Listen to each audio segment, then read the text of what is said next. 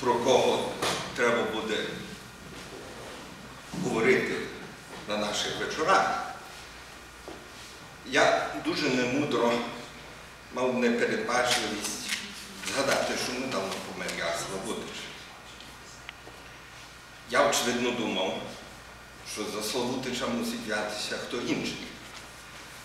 Думаю, що тут на залі ну, половина з вас багато краще знали Славутича, ніж я можу про нього щось сказати. Але доля карає і припав обов'язок на мене. Отже, признаюся, що я так і знав Славутича. Небагато, але знав із дуже раннього віку.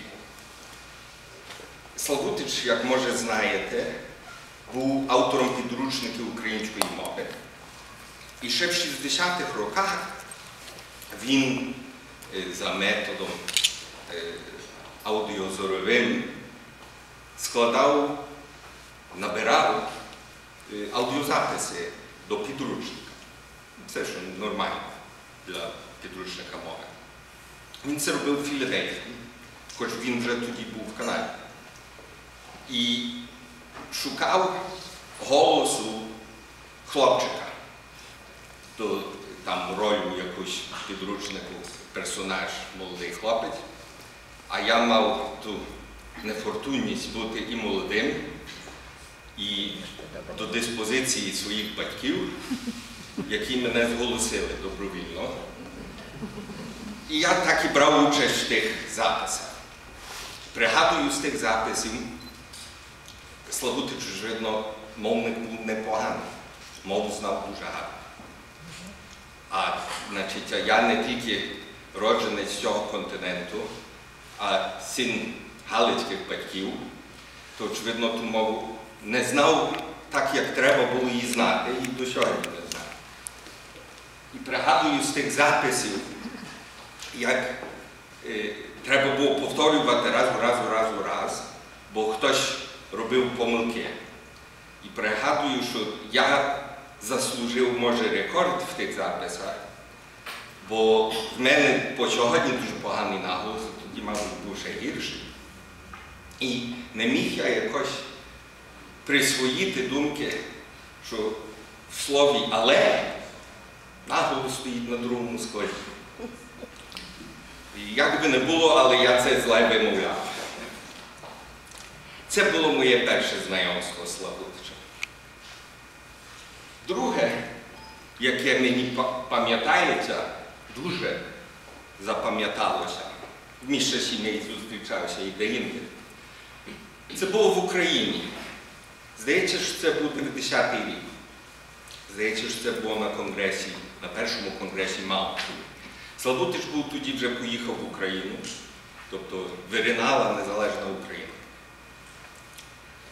І пригадую, з яким колосальним пафосом підійшов до мене Славутич. І каже, пане Максиме, мене надрукували в сільських місцях. Уявіть собі, скажіть батькові, три мільйон тираж.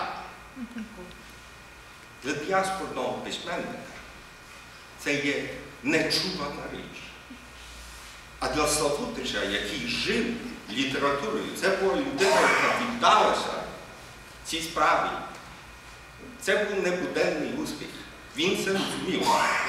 І я відчув, що то значить для письменника такого, як Славутич, мати такий успіх. Славутич народився на хуторі Жуче. І хочу вам показати, де це є. Це недалеко Кривого Рогу. Це на тій частині України. Я, я кажу, я, не, я взагалі американець, але ми не звідти. Це, це син степів, це син козацької України, центральної України, півдня, Херсонська область сьогодні. Так виглядали його батьки Тетяна і батько Михайло. Кілька слів про його біографію. Очевидно, ніхто не називається Славутич. Це, це псевдонім, але псевдонім, який він узаконив. Тобто він, він в 41-му році прибрав Славутич як офіційне своє прізвище і я. Народився він Григорій Михайлович Жученко у 18-му році і щось на, на, на вимір Лесі Українки вже дитиною почав вишивати. Тобто він, він з самого початку знав, чим він має бути. Як бачите, 32-й рік, і це часто появляється в його творчості, починається голод, а його батько, його батько був заможним, заможним господарем. І батька арештують. За, большевики арештували заможних людей, бо вони не підкорювалися. І заарештували навіть молодого Яра разом з батьком. І починається біографія надзвичайно цікава, великої людини. Принаймні, він сам так це розповідає. Все, що я знаю про Славутича, знаю з його власних розповідей. Це все може бути неправда, але так він про себе писав. Що він за допомогою батька і з іншими дітьми втік з того поїзда, де батька везли. Його везли разом з батьком, а там була якась тріщина в вагоні, і дітей викинули з поїзда і вернувся він додому. І бачив він на, на власні очі голод, вмерли його рідні, вмерла бабця, дідо, дідо пише, він на руках в нього вмирав. Радянські часи були нелегкі для нього, значить, їх, очевидно, вигнали з їхнього хутора. Він став студентом на Запорізькому пединституті. Знову його арештували, він розповідає, як в 38-му році ще раз його арештували, сидів він три тижні в тюрмі за читання нелегальних творів. Уявіть собі, Винниченка. Винниченка і Олеся читав. В 41-му році він вже в складах Червоної армії, але е, німці так скоро зайшли на Білорусі і Україну, він якраз е, був в загоні ж був в Білорусі, що німці дослівно обійшли їх і пішли далі, і лишили цілий колосальний там чи дивізію, чи що е, радянського війська, яка на гвалт самодемобілізувалася. І розпорошилася, але Славутич пише, що певна частина того відділу створила тоді Чернігівську Січ, тобто щось вроді повстанського загону, в якому він брав участь. Це молодий яр, в 38 році. Такого ми його не пригадуємо. Це, це вже пізніше, це з дружиною Вірою. Це така шлюбна фотографія.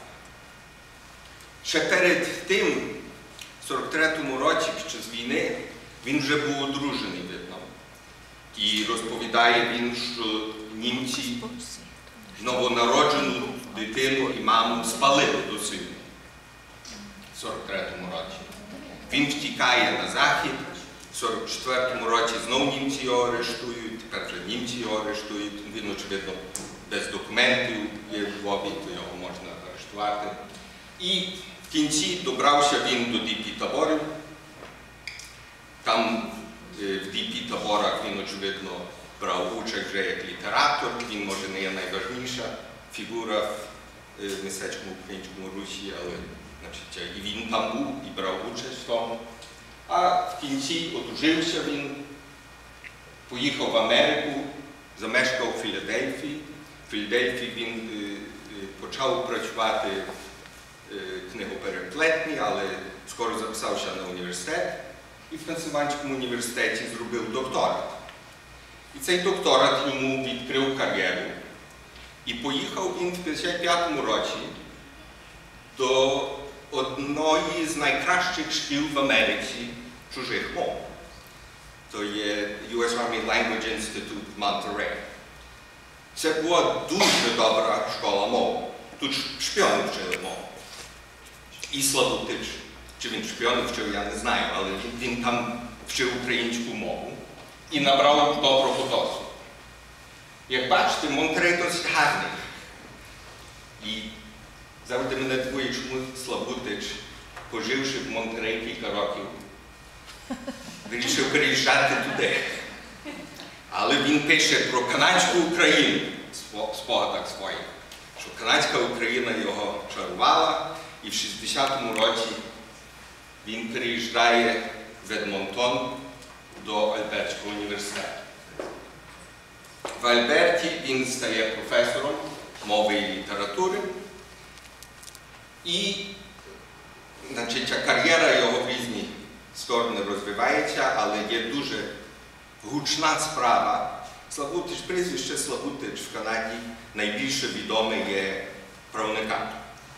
Бо була дуже гучна справа, де Славутича звільнили з роботи. В 72-му році звільнили, там йшла справа якийсь час до апеляційного суду. Він подав справу перше на університеті, далі до апеляційного суду Альберти. І в кінці справа дійшла до Найвищого суду Канади. І е, Найвищий суд Канади рішив е, його користь, призначив йому його вернути на позицію. Я зараз про це більше розкажу. В 83-му році він на пенсію відійшов, а в 90-му почав їздити на Україну, я вже згадував, там я його зустрів. А 11-го року, зовсім недавно він помер. Справа Славутич versus Baker. Baker це є Baker et al.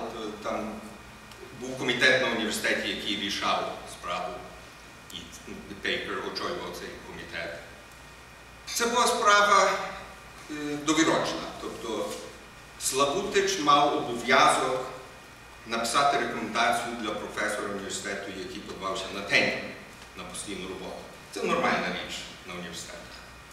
Славутич написав дуже негативну оцінку. Дуже негативну. Справа в тому, що оцінка була не тільки негативна професійно, а негативна особисто. Тобто він оскаржив цю особу у фактично нечесність. Це, це був значить, професор, про якого писав, називається Теренс Карлтон. Справа справою, але півтора року пізніше цю його рекомендацію вжито проти нього. Тобто його оскаржено у нечесній поведінці, що він лайливо висловився проти свого колеги без підстав. І на тій підставі його було звільнено із е, професорської позиції. Найвищий суд рішив його користь на підставі принципу, що е, рекомендацію, яку він писав, він писав в обставинах, де вона мала бути таємною. Тобто її не вільно було вжити, суд так рішив, що її не вільно було вжити в інших справах, а особливо не можна було вжити проти самого Славутича. Тобто принцип такий досить е, важливий для е, академічної свободи. Хочу цей епізод трошки наголосити ще й тому, що це характеризує Славутича до великої міри. Як, мабуть, не, одна особа тут знає, Славутич був людиною досить сварливою. Це не одинока його сварка із людьми. Сварився він з різними людьми, його кар'єра в Альберському університеті також мала різні перипетії свої такого сварливого характеру. Але це був чоловік колосальної енергії колосальної волі. І в кінці він виграв свою справу. Кілька слів про багатогранність його діяльності. Поет, очевидно, про це трошки почуємо його віршів. Мовознавець він був важливий і непоганий. літературознавець, він і про літературу писав, бібліограф. Мабуть, вам невідомо, що Славутич довгі роки був автором щорічної бібліографії е, Modern Language Association в Америці складає, складало колись бібліографію щорічно з різних ділянок гуманістики. Це страшна робота. Тобто Славутич особисто складав бібліографію щорічну з україністики, яка я її пригадую, я як аспірант це дуже часто використовував. Це була сумлінно виконана робота і дуже важлива, але така, яка не викликає великого признання, бо мало хто знає, яка це страшна робота. Він і перекладачем був, і видавцем був. Видавець він був особливо в своїх власних творах. Він, він до видавничої справи був дуже вмілий. Його діяльність, очевидно, включала всіх і вся.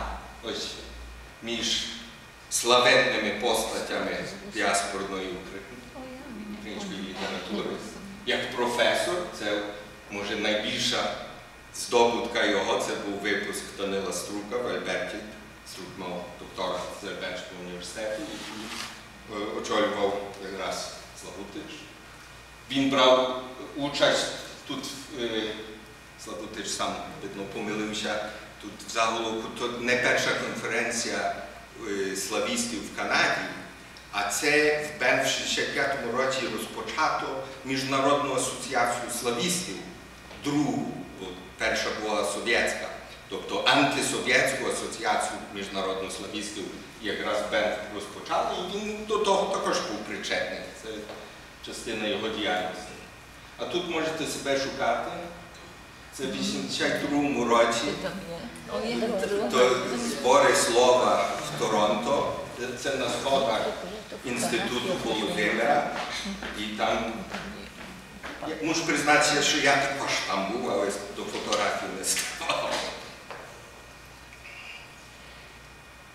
Покажу вам, бо сам Славутич, очевидно, пильнував, щоб його діяльність була записана, зарекордована і обчислена математично.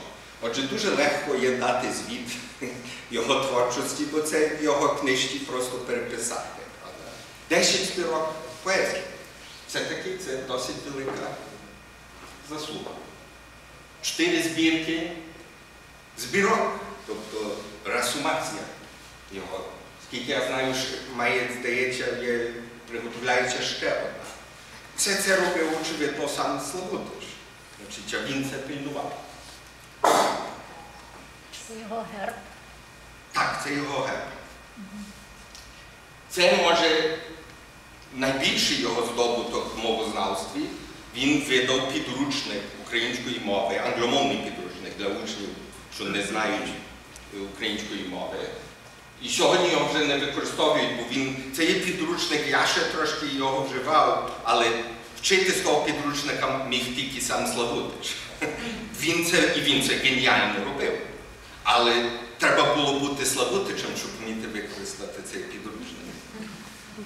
Він, крім того одного підручника, це, це є похідні підручники, фактично похідні від цього, але він їх видав, як бачите, цілу купу.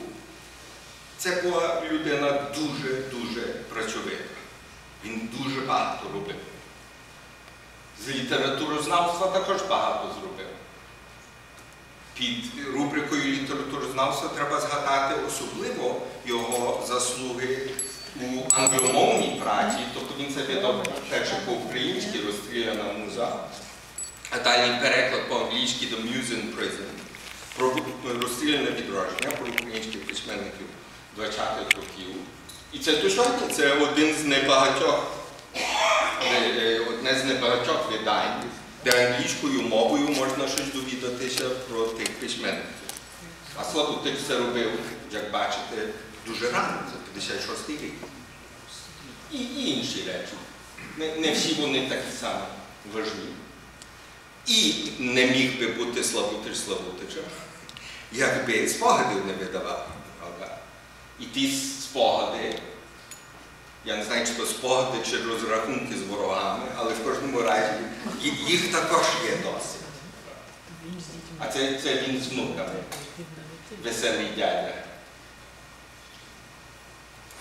Це переклади, він, він і це вмів полагодити, щоб вийшли, щоб появилися переклади його творів.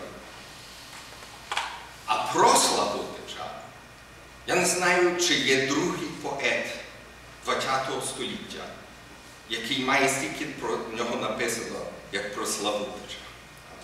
Очевидно, що Славутич мусив всім тим авторам допомагати. І як бачите, багато з того пов'язане з Херсонщиною. Він поїхав туди, рідний син Славутич, як появився на Херсонщині, то його там прийняли і добре зробили. Але вже включили його творчість в програму шкільну літературу. Це найдовший список, це власне твори про нього. Ще, кілька. Най, найважніший з тих, то, мабуть, найважніший з тих є е, роботи Тетяни Назаренко, яка досить багато уваги присвятила. Вона і тут в Канаді була. Не всім однаково подобається Славутич, і не всім однаково імпонувало те, що Славутич там сам так до якої міри сам себе він пропагував. Отже, щоб дати вам погляд, так би сказати, як без судді дозволено опозиції своє слово, то ось віршик, один сатирик так про Славутича написав.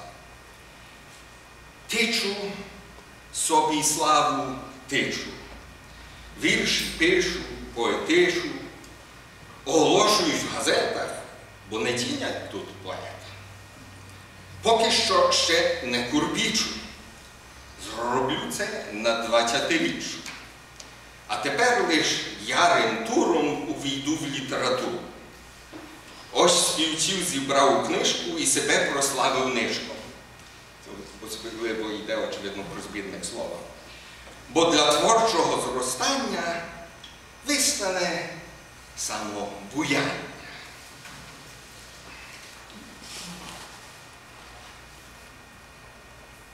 Ось в бронзі Дав себе. Славутич. Але незважаючи на різні погляди на Славутича, хочу підкреслити, що це був поет, чи ліпший, чи гірший, але поет, який розумів, що поет це не є, не може бути більшого контрасту, як з нашим попереднім поетом Марією Голуб. Це була скромна людина, яка писала вірші між іншим. Славутич вважав, що поет має бути воєнним мечем своєї особи, свого діла і на кожному кроці обстоювати поезію, поезію і поет. І він це робив. В бронзі це робив. Шиє. Е, Я не знаю.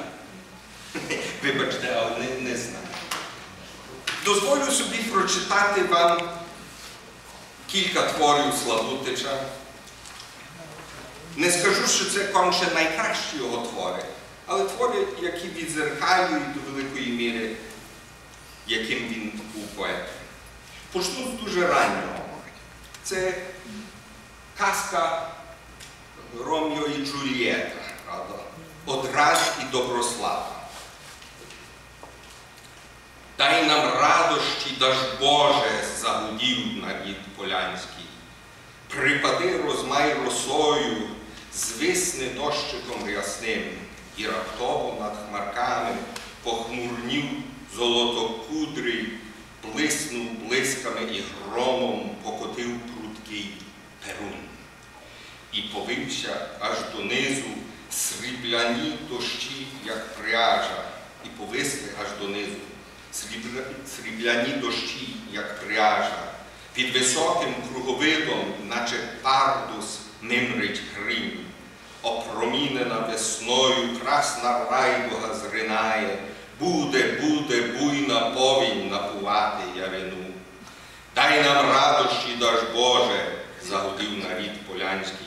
пожени угору стебла, колосочки Із над поля усміхнулось весняне лице свароже у блакитній паполомі з ярим променем в очах.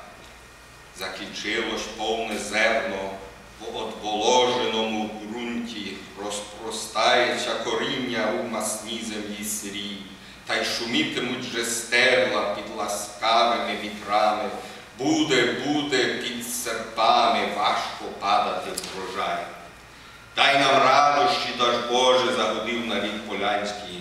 Обділяй степи звіринням, чередами обсипай, і озвався козлоногий, волохатий любий голос, мов старий відун поспів'я у дзвінку подух собі.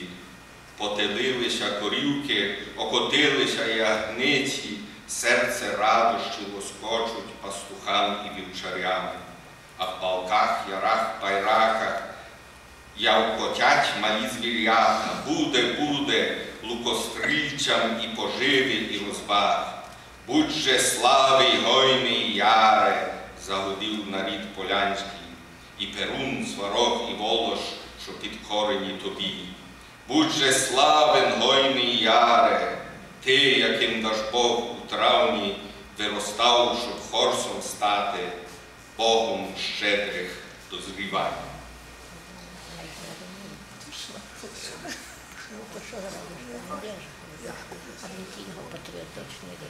Найбільша його річ це колосальна епопея на 625 октав, яка зветься Моя доба. І дійсно моя. Славутича. Степи, степи, херсонська сторона, мого дитинства океан бурхливий, чи зможу на поеми полотно перенести твої безмежні ниви, твоє повітря, як міцне вино, твої раптові громовисті зливи, ласкава музо, труд благослови, не дай згубити в леті голови. Пошли звучання промітному слову, щоб не бувало кострубати Хрим. Навчи від зерна відмести полову і занехати непотрібний грим, натхни співати в пору атомову, класично простим голосом старим, і вкороти омузо буйно крила, дрібничам любим красного чорнила. Про це я не кажу.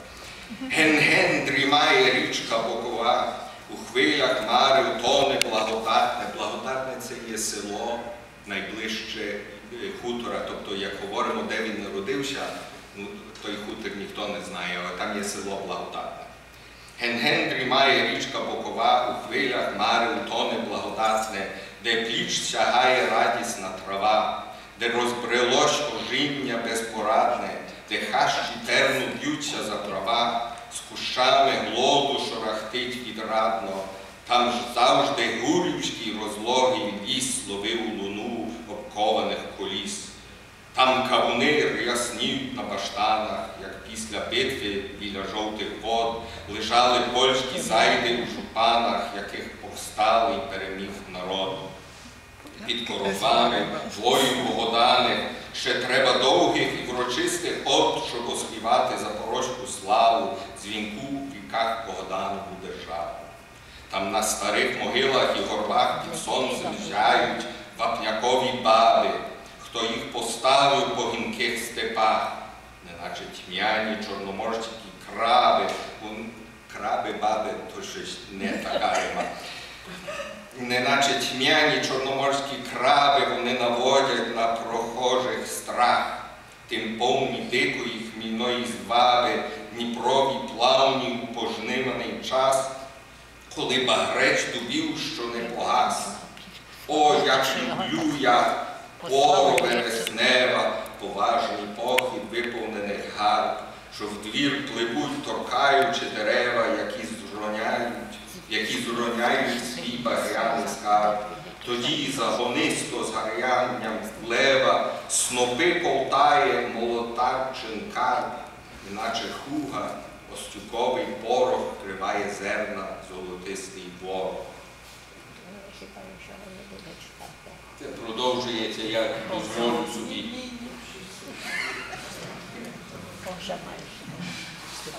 Ще, як вже згадали мені і, і Марії Голод, і щойно він згадував ті баби, то не, не можу вам не прочитати.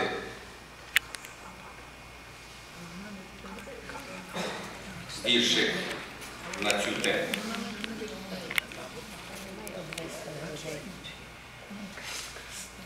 Поміж будяча на старій могилі вона сидить з обвислими грудьми, де чорні ворони на перейни плетуть узір на синім небосхилі.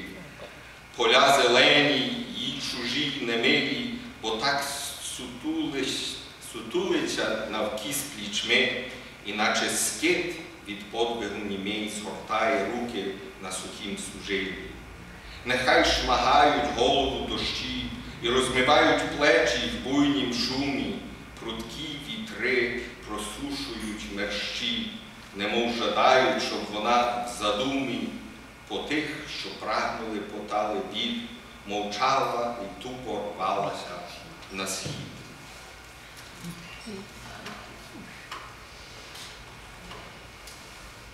Дозволю тут зробити маленьку перерву і сказати кілька слів про його творчість.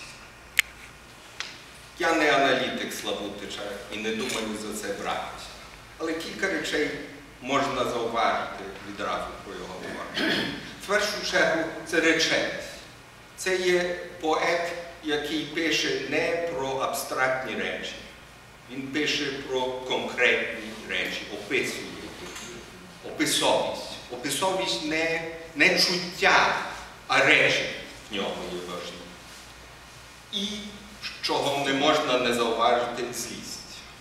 В нього злість є не, не тільки до дрібничкових своїх ворогів на Альбертському університеті, злість його в першу чергу до ворогів України, до Москви, до зрадників України, до всіх тих, що поплюжать йому дуже любу і рідну неньку Україну.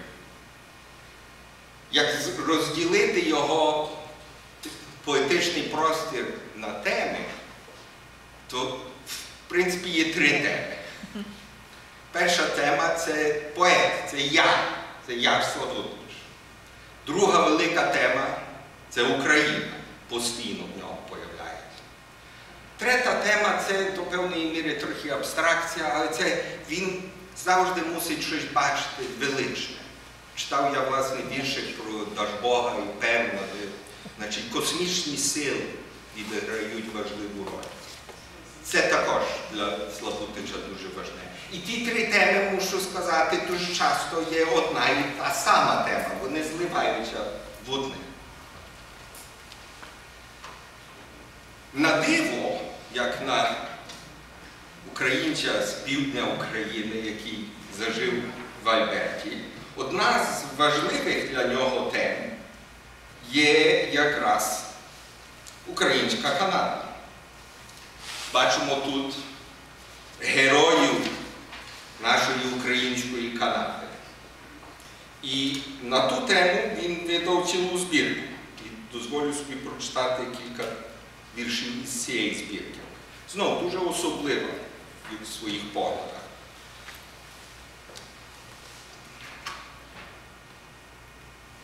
Завойовники прерії, так називається збірка. Не загарбники з дальніх імперій, не кортези з минулих віків. Тут пройшли завойовники прерії, Єленяк, Пилипівський, Леськів. Лемешів домороблена крича корчувала по чахлі паплі, щоб лягала подільська пшениця в плітні лона нової землі. І злітали спрагливі причалу золотими крильми врожаї. Слава й честь українському ралу, що відкрило канадські краї. Якщо знаєте історію вільництва в Канаді, то якраз то українське рало було ні до чого, вони дерево це робили, а треба було інші, іншого роду прибори. Завойовники з видом сумирним, орачі від зорі до зорі, добре знають і вільна, і мирна вашу працю, меткі трударі. Якщо ви не пізнаєте, це є назви місцевостей в Альберті, вільна і мирна. Це по вас, по лугах, по дібровах поминають Мондер, Вергевіль. Спочивайте в пухнастих покровах, потом скроплених, піднятих піль. Ваші руки на славу Канаді торували шляхи крізь гілля. Хай не стане вам плуг на заваді, хай лягає вам пухом земля. Ну, справді, чому не герої наші українці? Ще один вірш на подібну тему над могилою Пилипова. Не чути зозуль, немай солов'я, якими дзвеніла юність моя. Ні дуба, ні клена, лише землі, лише землі вклоняються лячно в Богі паплі. Тремтять на вітрах і в тиші тремтять, готові лягти під поду розп'ять. Яка самота, до яру піду, калина стоїть, немов на меду, і жаром червоним кличе мене, шепоче, кріпися, туга мене.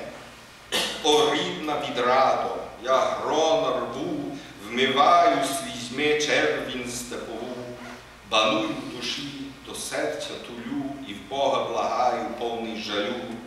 Дай ще раз почути небилю мій, зозуль, соловів і бджолиний рій.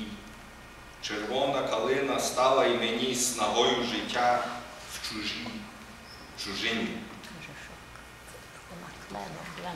от Погляди його на ту Канаду, на ту Альберту можна і ще в інших віршиках відчути. Правда, такого він не бачив, мабуть, тоді, як це писав, але чорна кров зеленавих прерій зважно двигає материк. Чую в гомоні рафінерії твій могутній Альберто крик.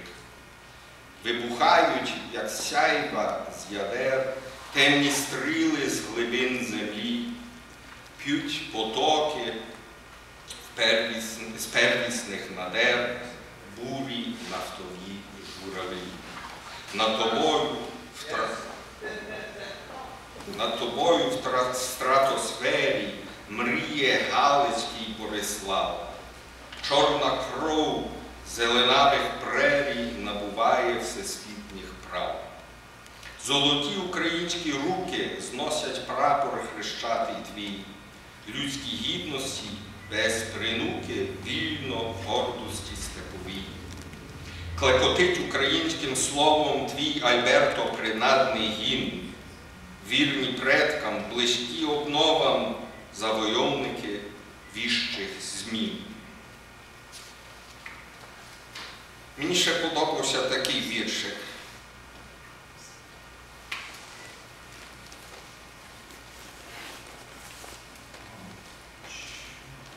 Містечко чи село Війна в Альберті. Спінувши авто, я зайшов у хату, що біловито стала між ялинами. Ясну скулів покрівлю небагато, спускаючи понад вербовий тин. Добрий день, тітко, я звернувся до жінки, що березові підкладала в піч, пашіли з комина підсмаглі грінки, і променилась доброта із віч.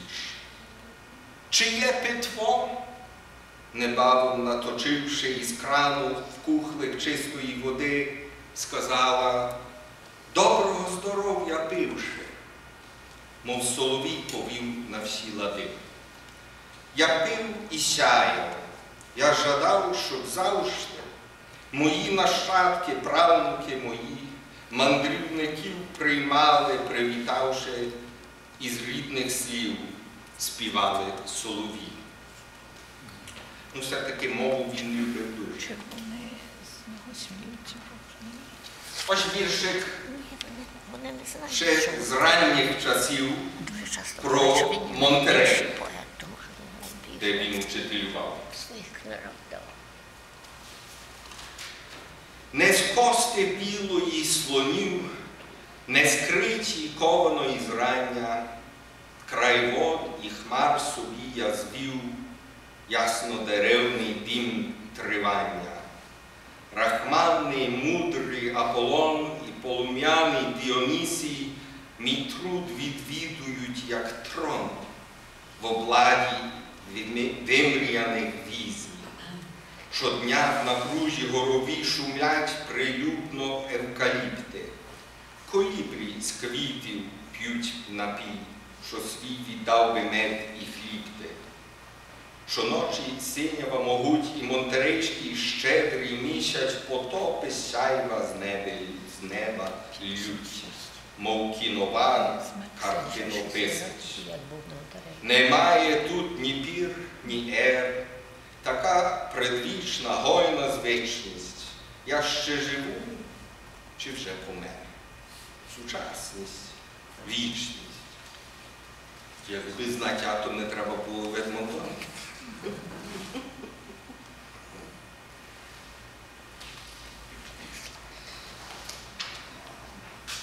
На відміну від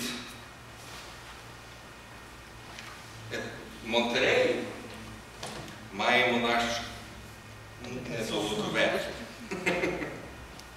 Я мрію про щастя жадане, коли зверховіть навесні ти врониш Дніпрові каштани, причисту пелюстку мені. У теплій долоні крізь я гордо нестиму її признання від земного вияв за всі поривання мої, за труд і невтомливі мандри, за серця нахненний борвій, за слово моєї Касандри про тебе, о Києве мій.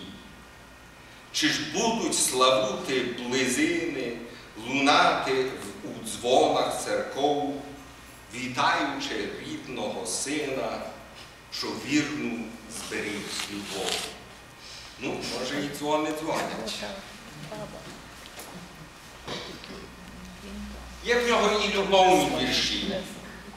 Дозволю прочитати ще трошки часу, заберу вам.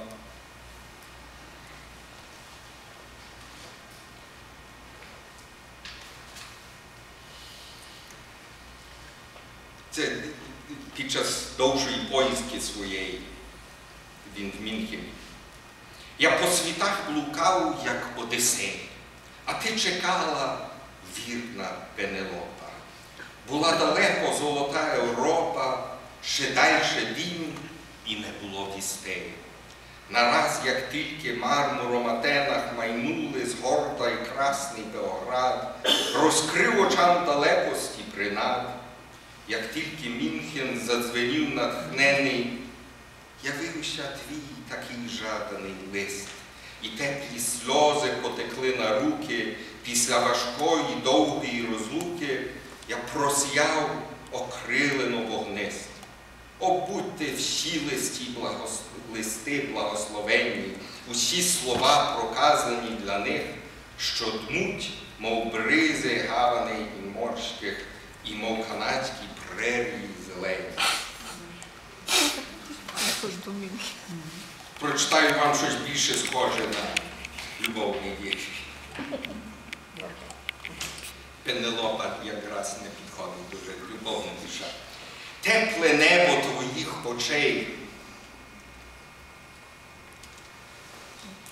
Красномовно метало звагу, мов би туга жадних ночей надпивала любові брагу. І не знав я, кому судить полум'яну спокусу Еви, тільки віддав величну мить райських яблунь у день серпневий. Розкви... Розкривались корони гір, дзвін дзвінко падала Божа тама і сягав щонайдальших зір невтолений вогонь Адам. Ну, все-таки треба вернутися до себе.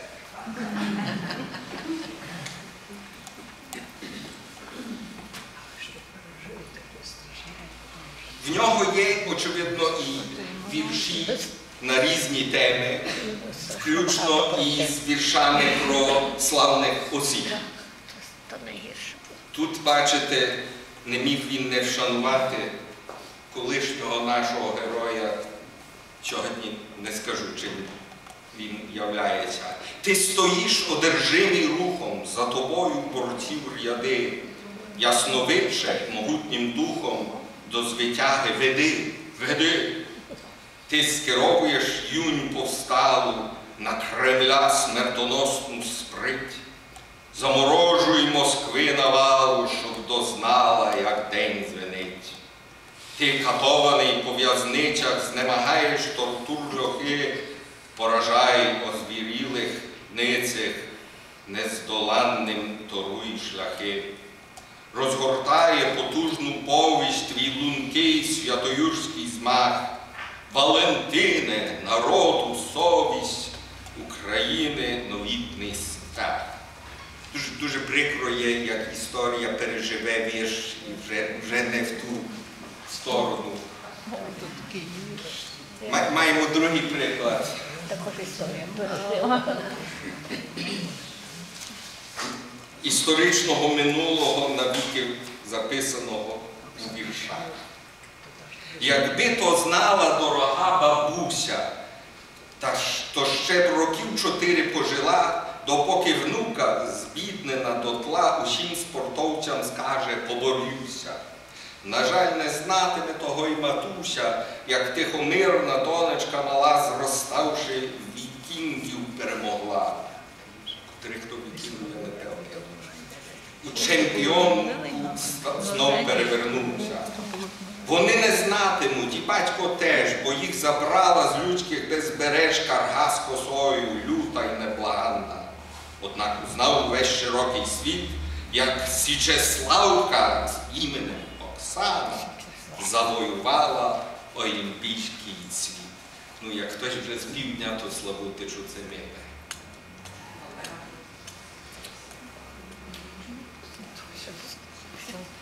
Кінчаючи, прочитаю ще тільки два віршики. Один присвячений сестрі.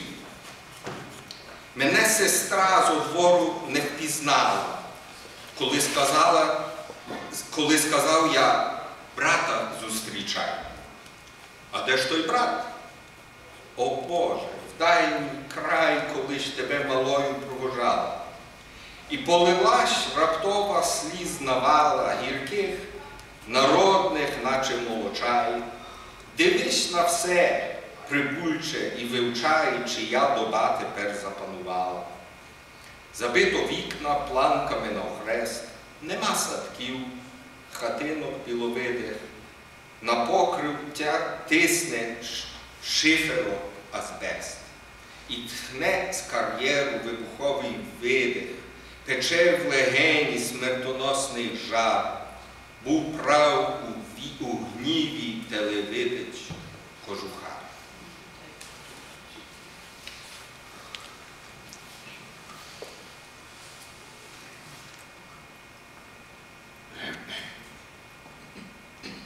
А на сам кінець завершення епопеї Моя доба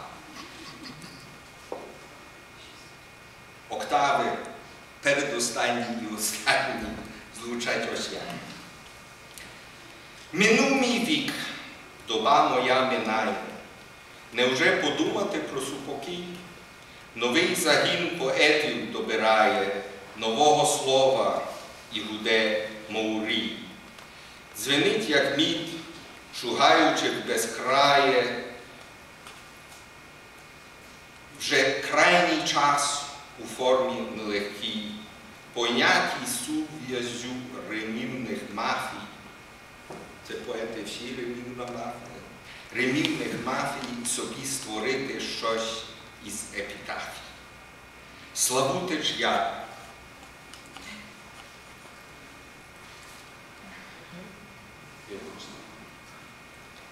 Славутич я, виховник і поет, лежить отут, похований в Канаді, а рвійний дух, не знаючи тенет, воює далі, не кінець браваді. Убравши в карби не один сонет, творив октави то сумні, то раді. Інакше згинув би цей гранослів, чий меч ворожих не щадив голів. І таким лишився, як славиш. Дякую вам за увагу.